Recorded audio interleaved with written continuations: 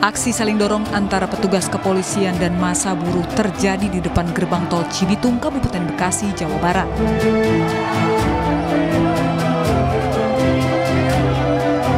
Sejumlah petugas kepolisian berusaha menghalau masa aksi yang mencoba memblokade akses jalan gerbang tol Cibitung menuju kawasan MM 2100. Kericuan pun nyaris terjadi antara petugas dan masa pendemo.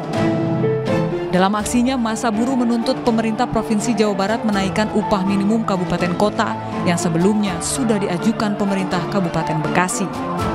Dan apabila hari ini, tanggal 30 November 2023, jam 12.00 batas eh, penetapan UMK, kalau seandainya tidak sesuai dengan rekomendasi yang kita sudah ajukan, buruh akan tetap bertahan, meminta SK itu direvisi.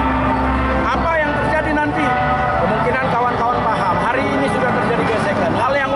lapangan gesekan.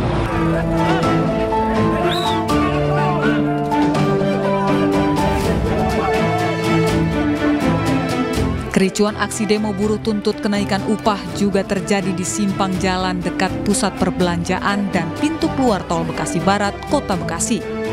Sejumlah buruh yang hendak mengadang truk yang baru keluar dari tol Bekasi Barat terlibat kericuhan dengan pengemudi truk. Tidak hanya itu, Wakapolres Metro Bekasi Kota pun sempat bersih tegang dengan masa aksi hingga akhirnya dapat dilerai oleh anggota kepolisian lainnya. Aksi buruh blokir pintu keluar gerbang tol Bekasi Barat ini dinilai arogan dan dikeluhkan oleh para pengemudi dan pengguna jalan. Gimana ya? Aduh, ya namanya juga macet, emang gimana ya? Ya terima aja lah.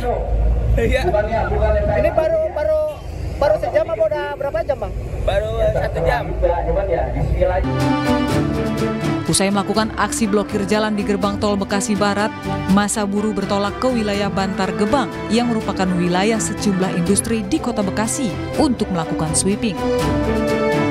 Tim Liputan iNews melaporkan.